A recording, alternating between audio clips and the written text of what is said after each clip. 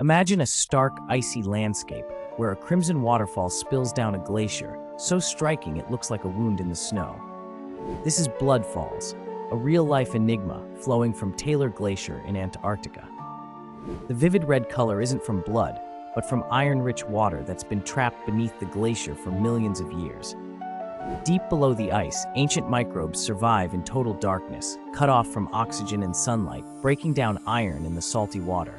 When this briny, iron-laden water finally emerges at the surface, it reacts with the oxygen in the air, rusting instantly and creating the waterfall's dramatic hue. Scientists were astonished to discover this hidden ecosystem, thriving without sunlight and demonstrating that life can exist in the harshest places on Earth. Blood Falls teaches us about resilience and adaptation, hinting at possibilities for life in extreme environments, even beyond our planet. This otherworldly cascade is a vivid reminder of how much remains to be explored and understood on our own world, inspiring curiosity about the secrets locked beneath ice and rock.